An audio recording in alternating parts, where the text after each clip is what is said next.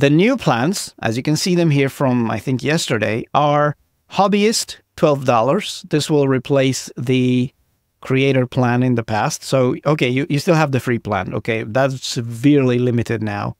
Then there's the hobbyist plan, $12 a month. And then the creator plan, which is 24, which used to be sort of similar to the former pro plan. And now the business plan, which is $40 a month, which gives you sort of like the most unlimited set of features you, you can have with Descript. Now, there is, of course, the enterprise stuff, which you, I don't know the price of because it's probably like a custom offering. I, I don't know about that. I don't use that. And I'm sure there's also uh, something to do with education. I'm, I'm not sure about those, but these are like the main plans. And they recommend, of course, the creator plan, which gives you 30 hour transcriptions a month, just like before. And then you've got export in 4K, watermark limited, whatever. But now, on some of the previous plans and some of these limited plans, you have limitations on the use of AI.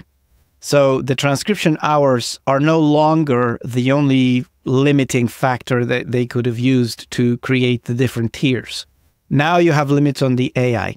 So, for example, the hobbyist plan, which is now the cheapest one, gives you just 20 uses a month for AI features. So let's say that if you do filler word removal, studio sound, some of the social post AI, Underlord AI based things that to do with uh, Chat GPT, 20 uses a month, which means you use them 20 times and then that's it for that month.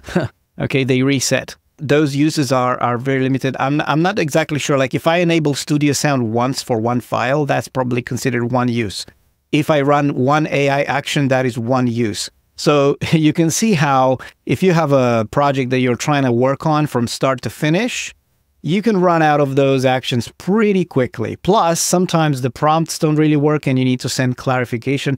I'm not sure if that, if you do like a follow up action in the AI, constitutes another use of the AI action. But yeah, I'm not sure about that. I, I haven't tested it. My Pro plan, which is now called Creator Legacy, or Pro Legacy, I think. Pro Legacy, I don't know. That should be still unlimited. However, I was already planning on moving to the business plan. And if this is the question, if you are on a old plan at the moment and you are happy with how you are with that plan and you don't want to pay more or be limited, I would suggest that you stick with that. Do not change it. Do not cancel it and start it again. You can't do not upgrade or downgrade to anything because then you will lose. So these plans, the legacy plans, if you want to continue staying on them, don't change them because as soon as you do, you're not going to be able to go back to those. So you're going to be forced to use one of these new plans to subscribe to, right? So there's another limitation that was not there before. This is the minutes of AI speech. AI speech was a little vaguely defined in the past, like 10,000 overdubs it wasn't really sure what that meant because in the past overdubs were actually like a sentence. One sentence is one overdub. Just last summer, when they overhauled the uh, AI voice generation engine, it became like a paragraph per overdub because there was this thing about the intonation and getting more context from the phrase to generate a clear and better better overdub overall. So now an overdub is one paragraph. But now it's actually counted in minutes. So as you can see here, the the cheapest plan basically has 30 minutes of AI speech. So as soon as you've done that, you're out. 120 for the creator and uh, 300 for the business. So even the most expensive plan doesn't give you unlimited AI speech. 300 minutes is probably the length of an audiobook, a long audiobook, I don't know. I wouldn't use this for audiobooks to be honest because I'm still not 100% on the intonation and the, the way that the voice functions. So, and then of course there's the enterprise plan, which has the most stuff. And I think the API, because I I know some people want to have API with Descript. API access is only still reserved for the enterprise customers, as far as I know. And of course, if you go down to this full list here, where's the full list? Down here. There's more stuff showing up, like the most notable ones. If you look at this list in here, is the thing I was telling you about the storage space. So if you go all the way down, you have these space limits, right? So on a free account, you can put up to five gigabytes on your drive. then the hobbyist is 100 gigs. One terabyte is what I'm on now. I haven't got a warning about running out of space yet, although I, I, I would have thought that I used probably close to one terabyte. I wish I had that transparency. I wish I could see that. I can't right now. Maybe it's going to be added later, like it does with the transcription hours. And then five terabytes for the business plan, which is uh, sounds to me like it's gonna it's quite generous, you know. So I would probably switch to that soon because I use it a lot and I, I, use a lot of things and I basically just upload everything in there. And of course, this branding, I didn't care for it. And the other limits seem to be the same. There's one thing here with the file size. Honestly, I never actually tried to upload anything of these sizes here per file. I mean, 20 gigs, I did once. I had a project, it was 4K, two cameras. Each camera was like 35 gigabytes. I managed to load that and transcribe it, and it worked okay. And depending on your computer, of course, your your experience may be different, but I wouldn't consider, you know, something that I would like to upload all the times. 20 gigabytes, I mean, Descript can get really slow with that. So 50 gigabytes for a file, that's crazy stuff. And then I don't see any other changes in terms of the the limits here. I mean, the, the same thing, 4K, unlimited, whatever, exports and searching and all that stuff. So really, the only kind of limited account is the the hobbyist where you have to watch your limits. But if you are doing a lot of work on Descript and you're running your business, creating your podcast or several podcasts for your clients, then you will probably already be on this extra plan here, the former pro plan or the new creator plan and you'll be probably thinking of moving to business anyway, which gives you extra support. I don't know what that, that means, like email support. I already have that. And then this extra priority support. I don't know if that's helpful. I, I usually fix my own issues if I can. So there you go. Owen says they used to have an educator plan for $5. I never seen that. I haven't seen that change yet. Not sure if the price will go up. I would think that if you were already on a plan like that, you would be, you know, your subscription would be honored, just like the other plans that have been kept. But as soon as you go to a different plan, probably they'll kick you out and give you the new pricing. I think the education plan, I don't think that's actually advertised in here. I'm looking on the website here, but I don't see it. I, I must probably, they maybe have a hidden page for it somewhere because I think, you know, with the education plans, maybe it's something that you have to kind of contact them and negotiate with. I don't know, kind of like the business plans. So, yeah, I may be wrong. AI speech is, uh, yeah, 300, uh, 300 minutes a month for that. And actually, someone was asking in the Discord today about the text to speech kind of thing, which if you're happy with the quality of it, then fine. By the way, you know, move to the 300. But I was suggesting that maybe they look at ElevenLabs, but that is even, uh, that price for that has gone up.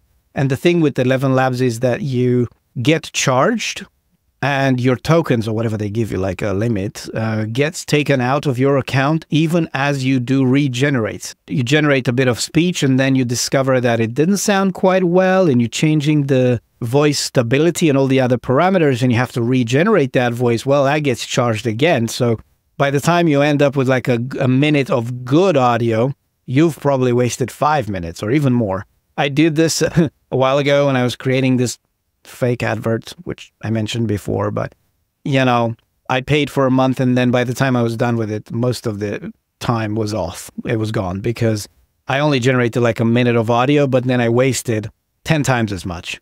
So I don't think that's worth it. Honestly, I don't think so because it's never going to be perfect. All the AI voices. I would probably just be happier just hiring some voiceover actor or maybe my voice sounds great and I could do voiceovers myself. You know, that's my conclusion anyway. So let me just now go to some of the questions. Does that include your own voice for the AI speech minutes? Yes. I mean, probably yes. So you're doing your voice and then you're generating audio speech with that voice. I think use of the speech engine is the thing you're paying for. It doesn't matter if you use a stock voice or your own voice. That's uh, still counts as minutes of use, whatever comes out of it. The remote recording isn't referencing Squadcast, I hope. Yes, I mean, remote recording in Descript is with Squadcast. So I actually don't see that in the pricing here. Let me share that again. Okay, so where is the remote recording? Editing Underlord speed, remote recording. Yes. Remote recording hours is has always been the same as your plan on and your transcription minutes.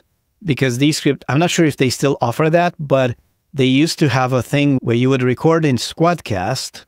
And then if you were transferring those projects from Squadcast directly to your Descript drive, because you were linking those two things, and creating, having Descript create the project for you, because that data came from Squadcast, you would actually get those files transcribed free. And I'm not sure if that's still the case. I don't really see it referenced in here, but that was actually a good perk because if you were recording in Squadcast, you had basically free transcription for all those recordings. So, yeah, that's I, I am hoping that's still the case now. I don't know how long it's going to work because Descript are actually going to integrate Squadcast into Descript, so it's going to be part of it somehow. The the whole thing is going to be redesigned again was it free or limited by the Squadcast recording hours? Yes, of course. So everything you recorded in Squadcast was then transcribed free up to the 30 hours that Squadcast also were limiting the, the recording time. So that's kind of how I understand it. We talk about the price and the limits and stuff. One, you know, I need to go back to the pricing for a minute. I am not happy with one change that was made in the pricing where free accounts are severely limited now.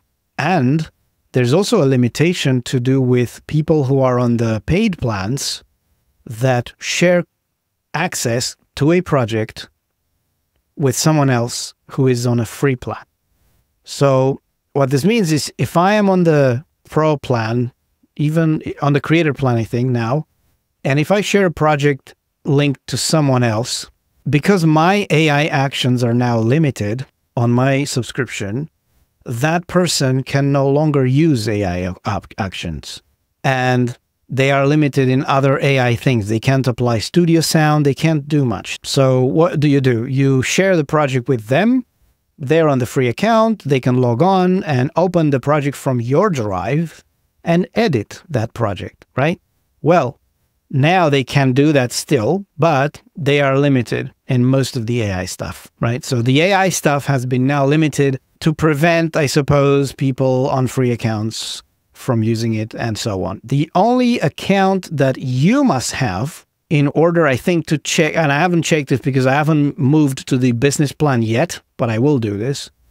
Then, if you move to the business plan, supposedly then these people who join your project to work on, like a viewer, they're going to be a basic account. So the change is explained in the change log as such. So they say this basic seats. So unless you are on a legacy plan, which I am, by the way, and this thing still doesn't work, I don't know why, basic seats are now limited to business plan users. All other plans can add view members who can view and comment on projects in the drive only. But that actually, I think, refers to inviting people to your drive. Whereas what I'm talking about is actually giving people access to your project, one project on per project basis. And you can actually do this. It's quite easy to do. If you go to a project and you maybe you don't have to open it to do this, but if you open it, you go to the top here and you can invite people by email and you can let them edit or just comment, right?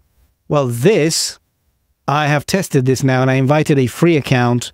And that free account, although I am on the Legacy Pro plan, that person who I invited cannot use any of the AI stuff. They cannot use studio sound, whatever. So it's all limited. E even though the project lives on my drive and it would use my limits, whatever my limits were.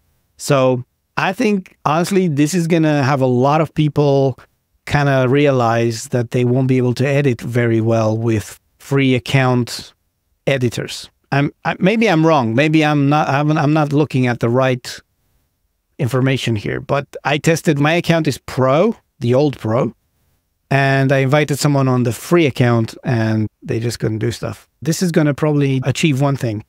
It's going to encourage people to do what you shouldn't do, which is to share their username and password with these editors and let them kind of log into their account and use Descript as if it, as if they were them.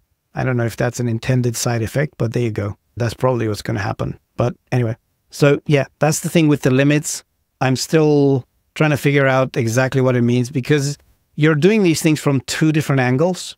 The owner of the drive or the subscriber to Descript and the person accessing the drive or the project from a different type of account. And historically, I don't think the type of account of the person being invited mattered. Your free account doesn't matter. You're just using the features that are on the drive you've been invited to. It's going to be a lot of confusion there, and, and, they'll they'll have to explain it quite a lot on the live shows, I, I think.